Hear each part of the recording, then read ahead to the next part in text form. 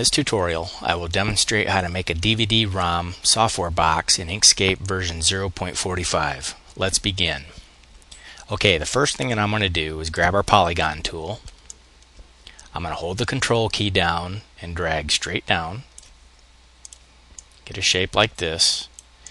It's worth noting that if I take our Bezier tool, draw a path like this, down like that. You see that I get a 3D box. That's about the fastest way that I know how to draw a 3D box in Inkscape. So, having said that, we're going to use this shape to draw our perspective 3D box. So I'm going to convert this to a path. And we're going to take our nodes and we're going to slide these things over here about like this you see that I pretty much get my 3D box here. Okay. I'm going to bring down some guides. So we're going to need to true this up a little bit.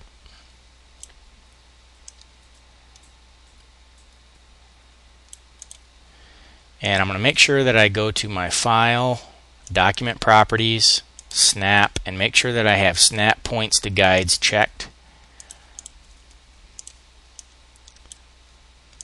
That'll help us keep everything straight. Okay. You can see that it snaps onto our guides. Bring this over here. And this one right here. Get up just a little bit more.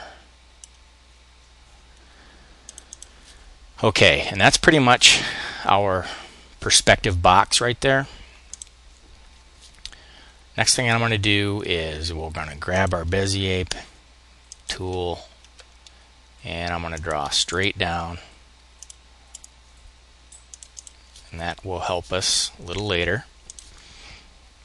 Okay, now what we're going to do is we're going to do a shift pipe to hide our guides. I'm going to go to the File, Document Properties, uncheck Snap to Guides. We'll grab our Bezier tool. And I'm going to trace right around the shape. And I'm going to turn that stroke white so I can see it. I'll zoom in on this corner here. And I'm just going to pull this down so I can get this new path just on the inside of our black stroke.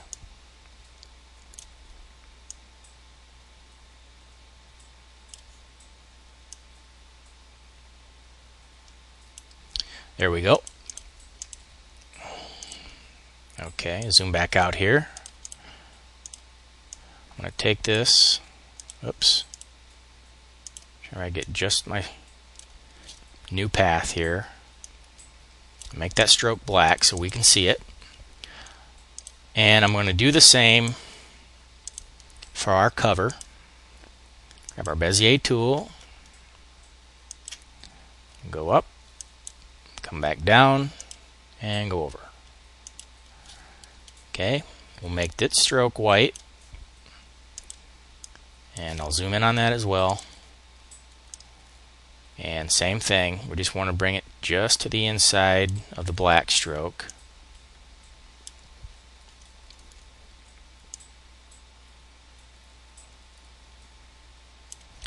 There we go.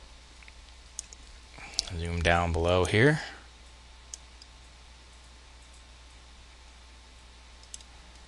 There we go. And we'll come over to this corner. And we'll fix this one. Okay. That's probably close enough. We'll take that, we'll move that over, and we'll turn that stroke black as well. Okay, now I'll zoom out just a little bit here. Zoom over.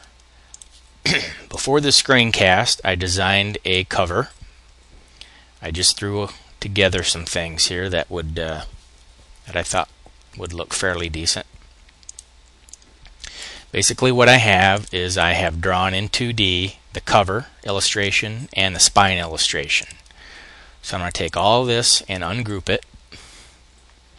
It's important that when working with perspective that everything that you draw is a path uh, just before you use the perspective tool.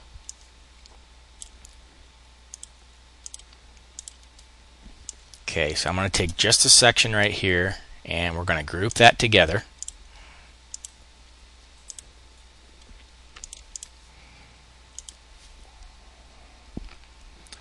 Select our Bezier path, then our spine image, effects, modify path, and we'll do a perspective. Takes just a second. Might get a little error dialog, but it will work in the end. Okay, got that portion. Now what I'm going to do is select all of this, group this together, select our path, select our image over here, effects, modify path, and we'll do a perspective. And this takes just a moment and it grays down. That's a compiz effect. That's kind of the same thing as the hourglass on Windows. I'm using Richards VIC 20, so it's a little slower at the moment. And we'll hit OK on that, and we've got that image. So now what I'm going to do, zoom over here, and what we're going to do is we'll do a shift pipe. We're going to turn our guides back on. We'll do document properties and we'll turn our snap to guides back on. I think that'll help us here. There we go. And we'll do the same over here.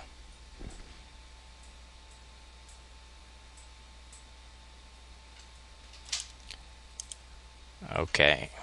There we go. Now, what I'm going to do is I'm going to have to adjust some of these images right here. So I'm going to go to File, Document Properties, and uncheck our Snap to Guides. Okay, we'll do a Shift Pipe. I'm going to zoom in on this corner. And I think what I'm going to do is make the stroke white. Well, that was a bad idea. Let's make that stroke red so I can see it. Okay. We'll take this image and we'll ungroup everything.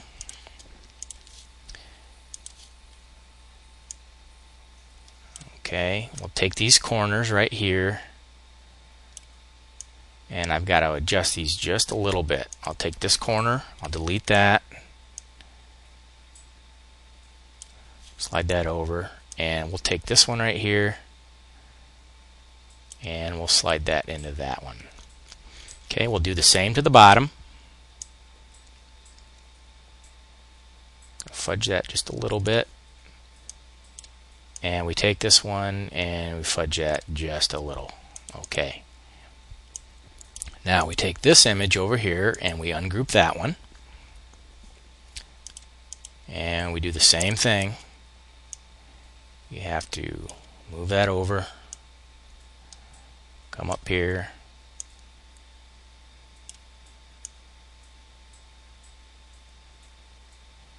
Move that over that node and delete it. There we go. Okay. And we'll go fix the other side. That right there. And at the very bottom. This is the last node that we'll adjust. And there we go. Okay so I'm going to take this stroke. We'll turn it black again times it helps just to turn things different colors so you can see what you're doing.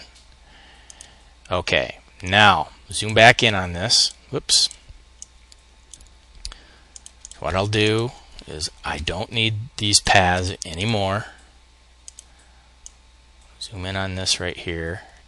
And this black line that I've drawn in here we're going to make white.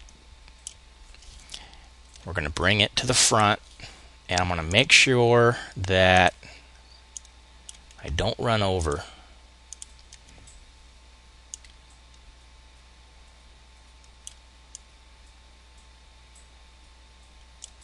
I got my guides turned on here. Let me just, uh, or my snaps, I mean.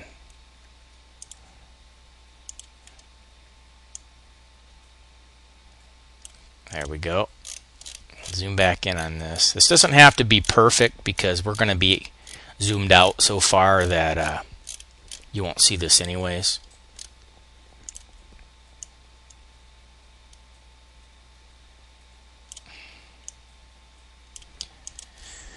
Okay, now I'll do my shift pipe again. Zoom out. And I'm going to delete these guides. You just double click on your guide, you hit delete. And there you go. Okay, now back to what I was doing with this thing here. I'm going to take this We'll go to our stroke, that rounded, and we're going to increase the size here.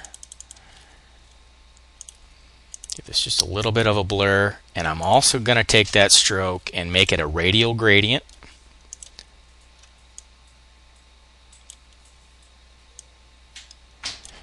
Okay. Select that again. Drag our gradient up a little higher.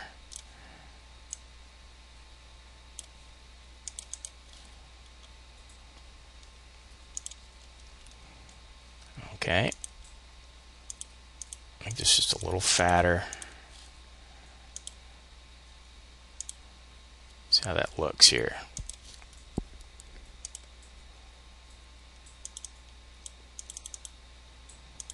I'm trying to do is illustrate a little shine on that corner there.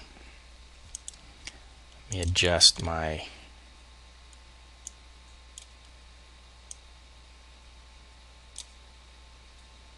gradient here.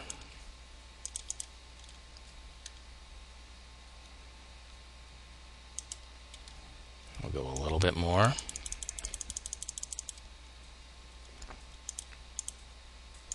Okay, I think that looks pretty good. Zoom out on this. And I'm going to take the whole thing here and actually, I think what I'll do is duplicate this outside shape. We'll make it black. We'll go to the fill and stroke dialog and we'll give this a 2. Send it all right there. We'll send it to the back. That'll give us a little bit of a drop shadow.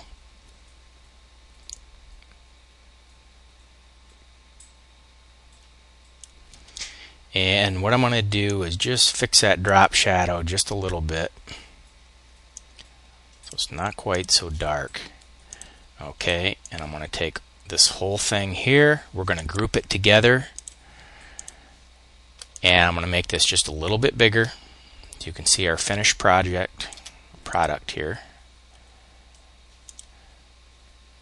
And we're going to grab our align, distribute, select page, put that on the page. Let's try it again here. Center it that way, that way. Okay, so if you're still awake, that's basically our DVD ROM software box. Now this will work with like a normal software box, uh, one that you'd find at a grocery store or a like an Office Max or anything like that, or, or anywhere that you'd buy software. Um, so that's basically how you do it. And if uh, you want to pimp this up just a little bit more, um, you can follow uh, Richard's or Nicu's uh, tutorial for creating a uh, reflection down at the bottom. That'll also look nice. So that's basically it. Thank you for watching. I'm heathenX.